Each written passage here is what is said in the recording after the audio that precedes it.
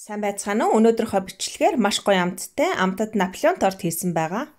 Эхлээд кексний зурмаг хийх байгаа. Зурмагт маань нэг ширхэг өндөг 380 г цэцгийн тус, нэг амны халбаг салаатанд хийдэг алюминий зүү, цайны халбаны талаар давс 250 мл хүйтэн ус, 650 г гурал орно. Бүх орцож ороод ор мэдээлэл хэсэг давхар оруулсан байгаа. Ороод үзээрэй.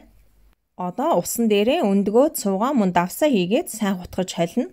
Ийм болсон байна. Одоо гурилан дээрээ цэцгийн тосоо ийм үргчээр үрээд өгнө. Би цэцгийн тосоо хэрэглэхээс 30 минутын өмнө хөргөчнийхөө хөлдөөгчөнд хийсэн байгаа. Цэцгийн тос маань баг зэрэг хатуу байвал зүгээр байдаг. Ингээд гурилаа цэцгийн тостойгоо баг зэрэг холио дээрээс нь шингэн зурмгаа хийгээд нийлтлэн сайн зуурч өгнө.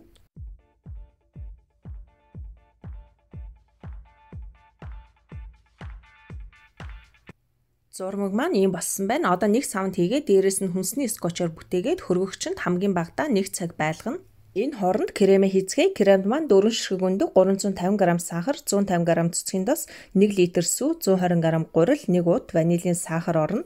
Эхлээд гурилан дээрээ сахараа, ванилийн сахараа хийгээд сайн холиод өгнө. Дараа нь өндгөө нэг савнд хийгээд мөн адил хутгаж холино. Ийм болсон өндгөн дээрээ гурил сахарын холимгоо хийгээд зуурмаг болтол нь сайн хутгаж өгнө. Зурмаг маань ийм болсон байна. Одоо сүүгээ плетгийнхаа дундаж хэмдэр буцалгана. Ингэхдээ доор наалдуулахгүйгээр хутгаж болгох ёстой. Ингиж буцалгаар нь гаргаад зурмаг дээрээ хоёр шанах сүү хийж хутгаад бүх зурмагаа сүүн дээрээ хийгээд плетгийнхаа дундаж хэмдэр өтгөртөл нь болгоно. Ингэхдээ тасралтгүй хутгаж өгнө. Би нэгээс үсвэртэл халдаг плетгний долоо дээр нь болгосон байгаа. Зурмаг маань өтгөрөөд ийм болсон байна. Одоо дээрэс нь хүнсний скотчоор бүтээгээд хөргөн хүнсний скотчоор бүтээснээр дээр нь хөрс тогтдоггүй байгаа. Крем маань удаан хугацаанд хөрдөг болохоор хэрэглэх өдрийнхөө өмнөх ороо нь крем зурмаг хоёроо бэлдээ тавьчвал зүгээр эдэг. Одоо зуурсан гурлаа хөргөчнөөсөө гаргаад 6-аас 8 хэсэг хуваагаад өгнө. Би 6 хэсэг хуваагаад тэгшүнзэг хэлбэртэйгээр торто хийсэн байгаа. Хэлбэрийн хувьд бол ямар ч байж болно. Эхлээд зурмгаа ойролцоогоор 30 см-тэй тойрог болгож илдээд хооронд нь ингэж нийлүүлээд үргэлжлүүлэн илтэнэ. Ийм болсон зурмгаа шарах шүгэний листен дээрээ тавиад баг зэрэг нүклээд урдчил чалаасан шарах шүгэн 190 градус 8-аас 10 минут болгоно. Зурмаг маань ойролцоогоор 26-34 харьцаатай байгаа. Кекс маань ийм болсон байна. Одоо хөргөө тавьчин яг ийм дараалалаар үлдэгдэл бүх кекснүүдэд болгоно. Одоо эргээд крем рүүгээ орцгоё. Цэцгийн тосоо цаартал нь ойролцоогоор 2-3 минут миксердэн цэцгийн тос маань дасгалгааны температурт маш сайн зөөлрсөн байх ёстой. Цэцгийн тос маань ийм болсон байна. Одоо хөрсөн кремэн дээрээ цэцгийн тосоо хийгээд маш сайн хутгаж хольж өгнө.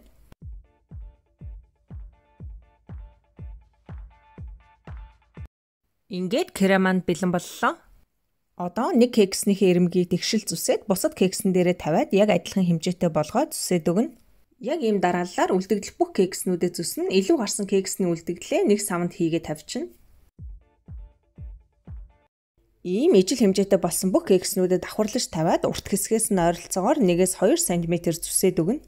Одоо кексэндээ кремэ хийгээд тортоо өрцгөе. Би кекснийхаа дөрвөн талаар шарах шүгэний цаас хайчлаад дэвсчихсэн байгаа. Тортоо хийж дуусаа салгаад авчна. Ингэхдээ кремэ нэмгэн жигэд түрхэж өгнө.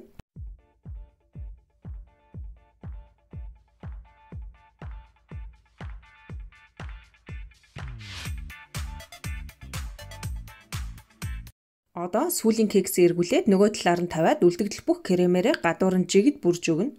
Торт маань ийм болсон байна. Одоо кексний үлдэгдлээ гараараа ингэж бутлаад гадуур нь жигд тарааж бүрнэ. Ингээд хажуугаар нь дэвссэн цаасаа салгаад авна.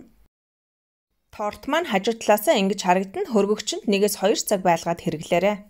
Ингээд амтад Наполеон торт маань бэлэн боллоо. Заавал хийж үзээрэй. Мөн асуух асуулт ивэл доор комент хэсэгт үлдээгээрэй. Амжилт хүсье. Дараагийн бичлэг хүртэл түр баяртай.